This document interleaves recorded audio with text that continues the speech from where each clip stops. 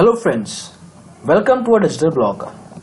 Today we'll see how you can open a demat account with Zerodha and how you can get started with your trading.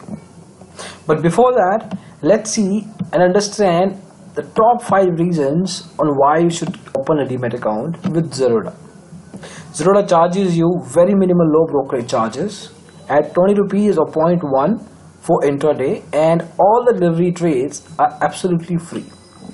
They offer you decent trading platforms across devices. So they have a web trading app called Zerodha Kite.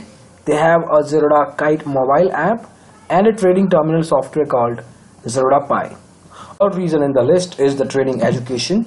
So if you are a beginner or a small investor, Zerodha has opened up several avenues in form of online portals such as Varsity, Open Trade, Z Connect, Trading Q&A, so that you can go ahead and learn about trading basics and fundamentals, get in touch with the heavy traders and experts, and know their point of views and stuff like that.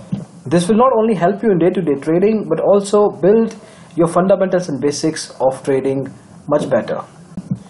Then Zerodha doesn't provide you any sort of forced trades since they don't have a research team they don't really call you every day on a regular basis to buy or sell a specific trade irrespective of the fact that they will make any money out of it or not. Finally, as far as the trust factor is concerned, there are around 1 million clients that Zerodha has activated in the last 7 years or so. It is in fact one of the only discount brokers in top 15 stock brokers in India which has one of the highest active clients across the country. You can check out complete review of Zerodha both in Hindi and English at adigitalblogger.com. We also have a video review of Zerodha placed at YouTube and the review page of Zerodha at adigitalblogger.com. Coming back to the point on what exactly do you need to open a demat account with Zerodha? Basically you need few documents. You need a PAN card which is a mandatory document. You need an ID proof could be passport, driving license or voter ID an address proof which is verified by the government it could be your ration card Aadhaar card or your passport your six months bank statement which serves as your financial income proof a cancelled check two passport size photographs and the uh, account opening and annual maintenance fees you might also need some sort of initial margin deposit it really depends on your conversation with the sales executive on that part to open a demat account, you can go to zerodha.com. We'll put a link in the video description. Put in your name, mobile and email and click on call me back.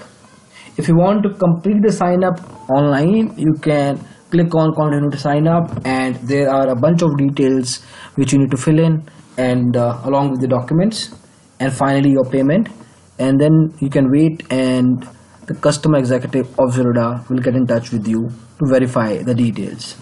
Or you can go to adigitalblogger.com as well, provide your details in this Zerodha callback form. We'll arrange this callback for you within the next 6 hours. If you open a demat account through digitalblogger.com, we'll arrange regular research tips and market recommendations for the next 6 months completely free for you. That's it for the video. Thank you so much for watching it.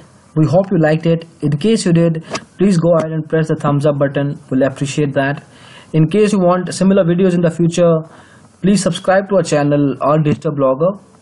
You can also let us know your feedback in the comment section of the video. Thank you so much again for watching the video. Have a great time. Bye bye